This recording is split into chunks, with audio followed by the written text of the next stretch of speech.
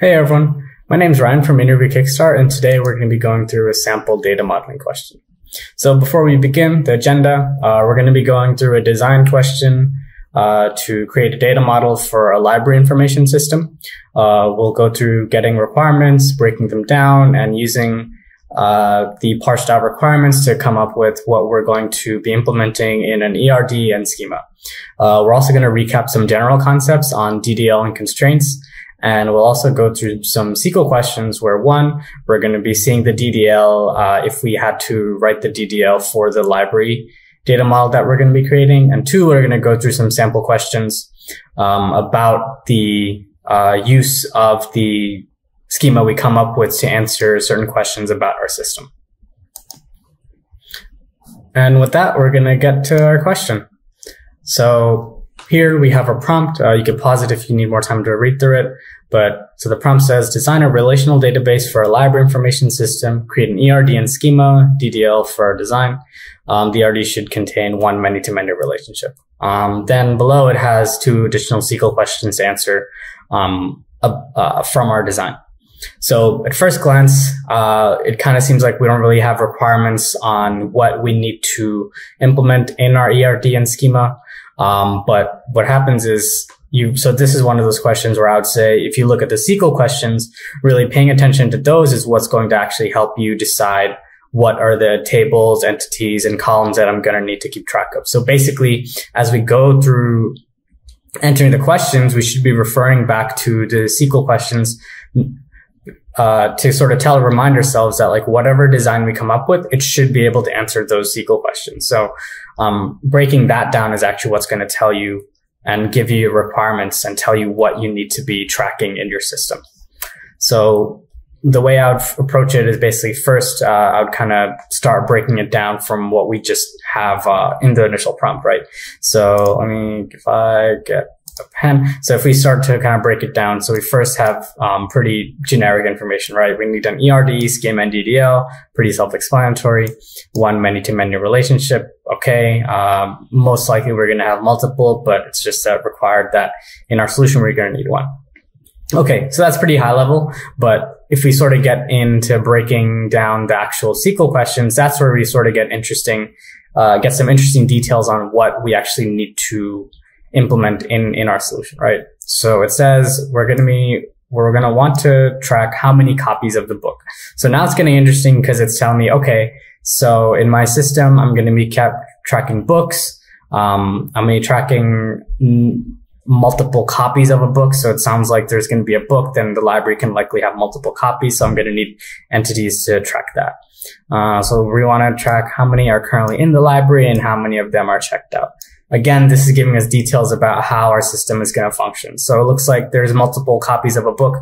Um, we're also, and we want to track um, as people borrow them and as people return them, right? So we're going to be tracking how many, let's say if there, maybe there's 10 10 copies total. So we want to see if there's six that are checked out and four that are available. Um, so we're going to want to keep track of that. We're also likely going to be keeping track of those transactions that happen to check those six out, most likely when they were checked out and so on, right? Um, find the books that have been checked out the most. So yeah, so kind of like we thought before, uh, the transactions, I'm going to be tracking how many times a certain book has been checked out and their associated users, right? So, okay, so like who's checking out books? So that tells me I probably, I'm probably going to be keeping track of members and people who are actually checking out these books. Okay. So as you can see, if you look into the actual question, we're getting our requirements for what our design is going to be like from the SQL questions. So again, our requirements haven't been given directly to us, but we're sort of teasing it out uh, from the information we've been given. So, okay. So now I'd kind of like, after breaking it down initially, I'd sort of review and look at what, what we have so far, right? So we know that our goal is to, to design an ERD schema and DDL for the prompt that I've been given, right? Um, and it's for a library system and it has one many to many relationship and it it accomplishes a couple things. So, and then all these points we've sort of gotten from the uh, the way we broke down the SQL question. So the library can contain multiple copies of the same book. That's from that first SQL question. Um, tracks which copies are checked out and which aren't. Okay, that makes sense because we were going to keep track of how many are in available for checkout and not. Um, historical record of how many times a book has been checked out. Again, we're keeping track of who's tracking, who's checking books out, um, how many times it's been returned. So because we want to, it's that second, second SQL question where we want to track, uh, how many have been checked out the most. Uh, and then we have members and there's, they're the people who are checking out the books. And that's what we want to be able to, uh, we want to keep track of that data point too. Okay. So we basically have an initial set of requirements, but one thing to remember is again, uh, when you're in an actual interview situation, uh, most likely the interviewer is going to leave some key detail out. Um, there's going to be some ambiguity because what they want, they're expecting you to do is sort of ask them questions um, and have a conversation to really tease out um, uh, how they want you to implement the system. So there's going to be details they leave out. But again, this is basically because they want to see when you're on the actual job, how are you going to be talking to stakeholders to gather requirements and how are you going to uh, take their thoughts and um, change that into technical client technical requirements for when you do these types of uh, database designs or data modeling um, tasks at work.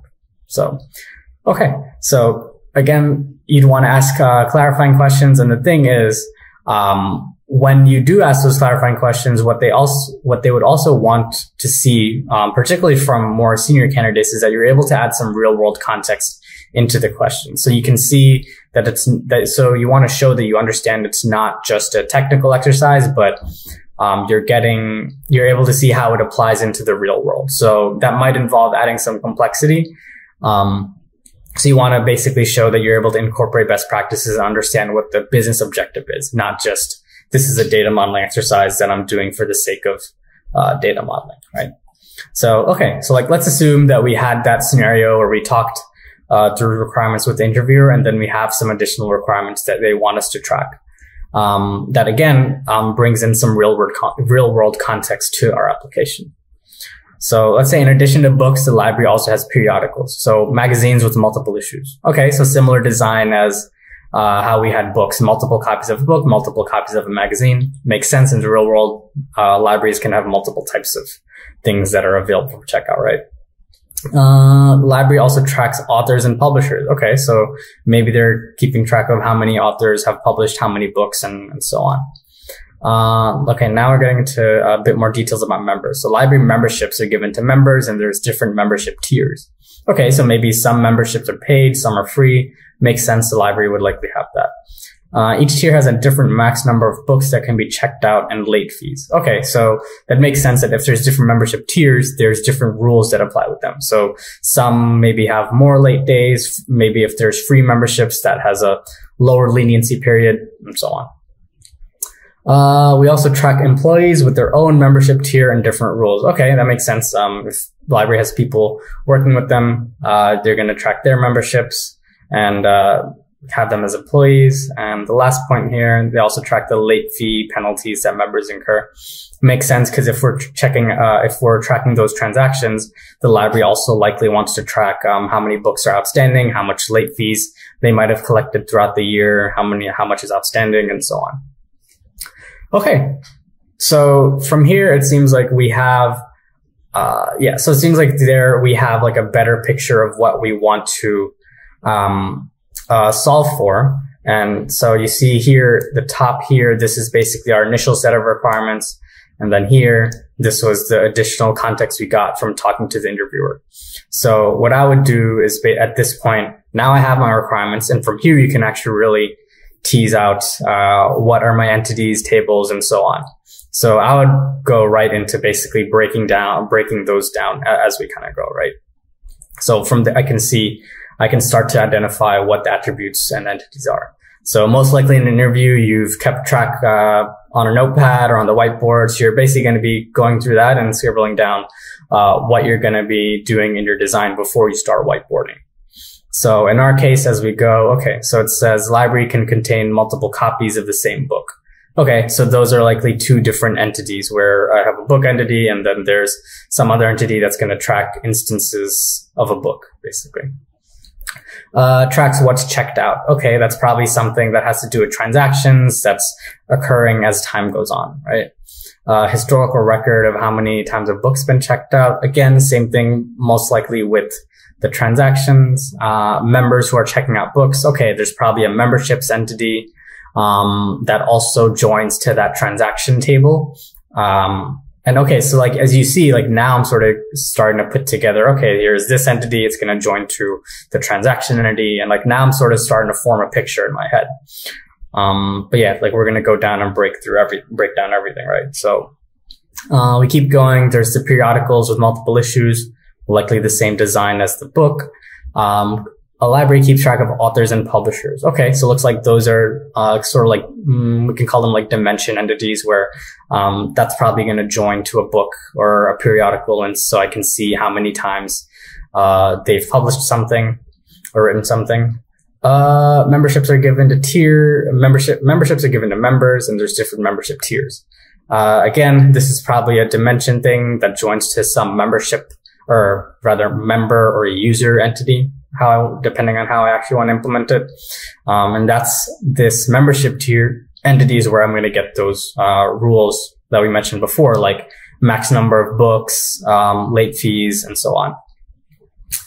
Um, keep going. Uh, we likely have an entity for employees that also joins to that membership tier dimension. Uh, and the late fee penalties. Okay. And again, that's probably with the membership tier dimension because if we remember from the requirements, the different tiers will have different rules and penalties. Okay. So I've sort of broken down my requirements. Um, and I, I sort of have an idea. And you saw as I did that, I sort of had, I was forming the picture in my mind of what the um, joins and what the entities are going to be and what it's going to look like. So now I'm basically ready to step into the data modeling solution. Um, and again, we're in, for this example, we're going to go through all three steps, conceptual, logical, and then physical modeling.